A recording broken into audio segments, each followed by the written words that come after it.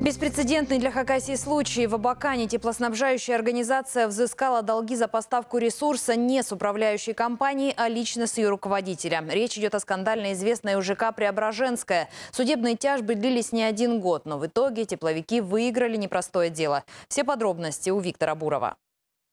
Этот гараж – личное имущество бывшего руководителя уже несуществующей управляющей компании «Преображенская». Сегодня его описали судебные приставы. Подобного в Хакасии раньше никогда не случалось. Верховный суд республики признал Людмилу Степанову виновной в том, что она путем обмана причинила ущерб теплоснабжающей организации. Сумма 800 тысяч рублей. Схема была такова.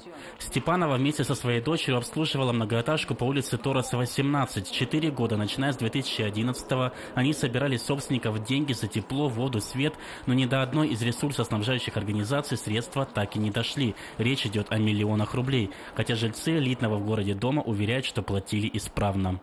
Почему мы должны тепловым, э, тепловым платить такие, такой ужас? Объясните. Все платят. Да, вы вот сейчас посмотрите, что творится. Пришли частники.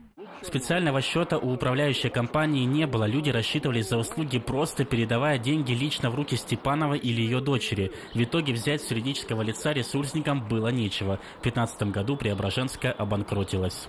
Другие ресурсники всегда шли по пути гражданско-правовых отношений между юридическими лицами. То есть юрлицо ресурсоснабжающее взыскивает с юридического лица управляющей компании.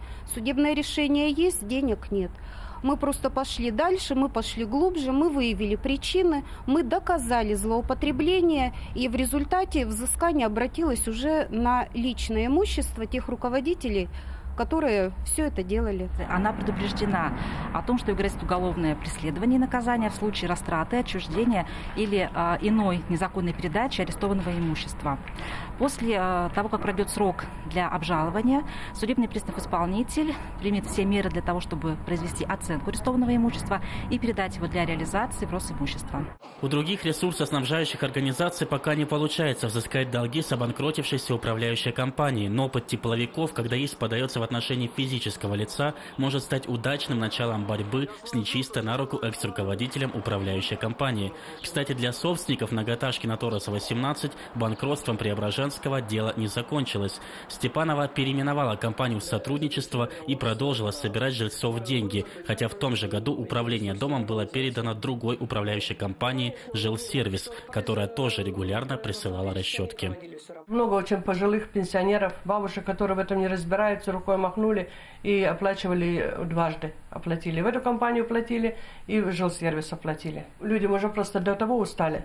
Им быстрее бы все это закончилось, чтобы с долгов не было. Вот, а многие до сих пор еще приходят, еще до сих пор разбираются. Чтобы вернуть свои деньги, жильцам теперь придется приложить усилия. С кого требовать средства, непонятно. Сегодня у дома новая, уже четвертая по счету управляющая организация. Абаканская управляющая компания. Виктор Буров, Дмитрий Кузнецов, Вести, Хакасия.